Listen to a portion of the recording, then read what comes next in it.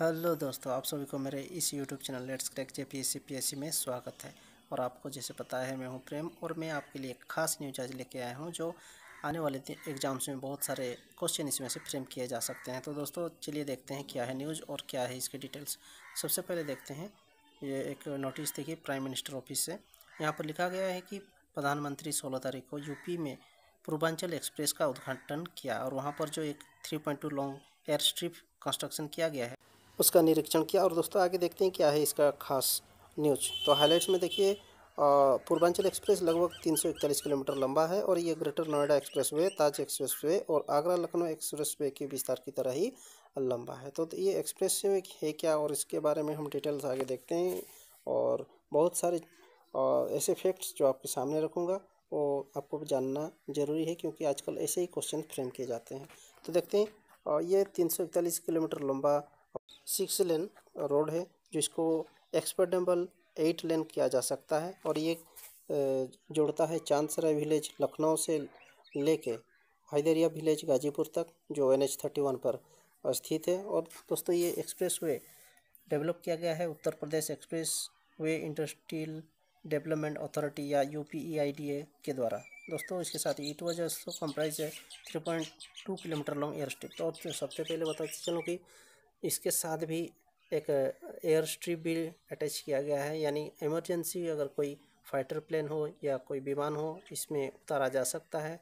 और ये बहुत ही अच्छा एक माना गया है आजकल के ज़माने में जितने भी एयरक्राफ्ट हैं, उसको रोड में उतारने का जो ये मुहिम चला है। तो ये मोदी सरकार के तहत बहुत सारे डेवलपमेंट इसके ऊपर किए जा रहे हैं। It is longest expressway in the India ये भारत का लंबा एक्सप्रेस वे है। और दोस्तों, इसके बाद देखते हैं कि सबसे पहले ये जो आजकल एक्सप्रेस वे में जो एयर स्ट्रिप का जो डेवलपमेंट हुआ है इससे पहले हो चुका है और ये इसी क्रम में ही एक इसका संकलन है। तो अरसों सुल्तानपुर का डिस्ट्रिक्ट में जो करवत विलेज है, वहाँ पर ये लॉन्ग एयर स्ट्रिप जोड़ा गया है। और दोस्तों प्राइम मिनिस्टर एयर मोदी जो हैं, वो C one thirty Hercules Indian air force के फाइटर जेट से उतर के यहाँ पर आए। और दोस्तों, वहाँ टच एंड गो ऑपरेशन को बखूबी वहाँ पे अपने आँखों के सामने देखा।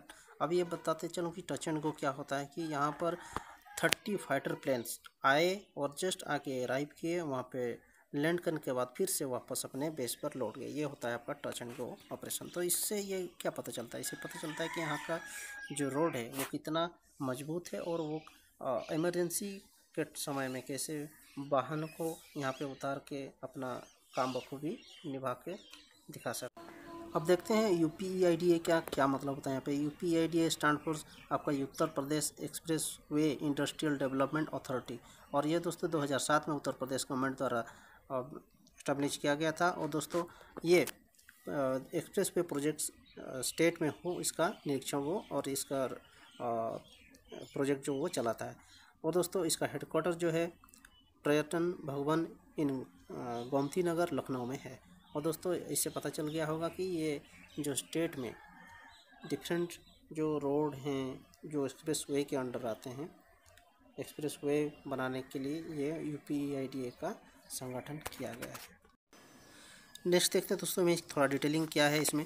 पूर्वांचल एक्सप्रेस वे जो है, इसमें बाईस फ्लाईओवर है, सात रेलवे ओवर ब्रिज है, सात मेजर ब्रिज है, एक सौ चौदह माइनर ब्रिज है सिक्स टोल प्लाजा है forty five vehicular under passes हैं one thirty nine light vehicular underpass है एटी सेवन पेडेस्ट्रियन है, और पाँच सौ पच्चीस बॉक्स कॉलवर्टर अभी आपके दिमाग में आया होगा कि वी क्या होता है। तो ये होता है व्हीकुलर अंडरपास में आपका जितने भी छोटे मोटे जो गाड़ी है जो लोकल गाड़ी है या जो लोग साइकिल या पैदल जो चलते हैं, वो उनके लिए इस एक्सप्रेस वे के नीचे ये एक सुरंग टाइप का एक रोड होता है जिससे वो निकल सकते हैं। दोस्तों, उसके बाद देखते हैं, ये जो एक्सप्रेस वे है, इसमें सी एन जी स्टेशन लगे हुए हैं इलेक्ट्रिक रिचार्ज स्टेशन लगे हुए हैं और दोस्तों साथ ही साथ इसमें डिफेंस कॉरिडोर जो है आगरा बुंदेलखंड एक्सप्रेस पे उसमें इसको जोड़ा गया है। दोस्तों इसको मैक्सिमम स्पीड 120 पर आवर में ये आ, इस रोड के ऊपर जा जा सकता है। दोस्तों इसको hundred kilometre kilometre per hour में भी इसको फिक्स किया जा सकता है बोल के यहाँ पर